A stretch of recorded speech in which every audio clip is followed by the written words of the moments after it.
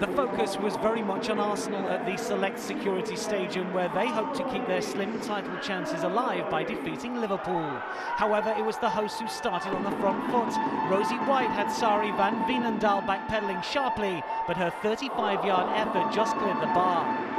The Gunners were looking for a first league success since July and were given the perfect opportunity to go in front when Alex Scott was brought down by Satara Murray inside the area. Natalia's weak spot kick, though, failed to find the target and Liverpool were let off the hook. Matt Beard's team had won only one of their last four league games, but were only denied the opening goal when Van Veenendaal brilliantly kept out Gemma Bonner.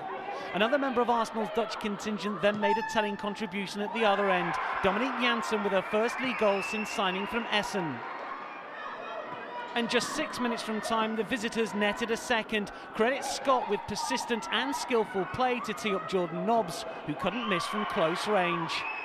Liverpool were second best in most departments for much of the game, but nearly grabbed a late consolation after a spot of head tennis saw Janssen almost put through her own net. But the post came to her rescue as Arsenal maintained their outside chance of claiming the championship.